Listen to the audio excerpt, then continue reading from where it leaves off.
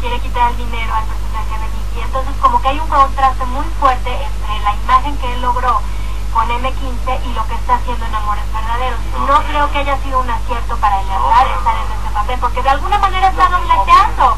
El día 5 estuvieron en la megaferia de Acapulco, los M15 cantando con un exitazo increíble. Tú querías conseguir, Mario, un juguete de M15 para, para los Reyes o para Santa Claus y no había, no había nada. Llevaron los Reyes Magos y Santa Claus. Uno que quería comprar algo, no había nada de muñecas de M15, agendas, calendarios, todo voló. O sea, eso, eso me hace pensar que están muy frescos Y en la todavía. música les está yendo espectacular, o sea, tú sintonizabas cualquier canal de radio, de, de televisión, de video, pasos de RBD. y pasan y pasan y pasan sus, sus éxitos, ¿no?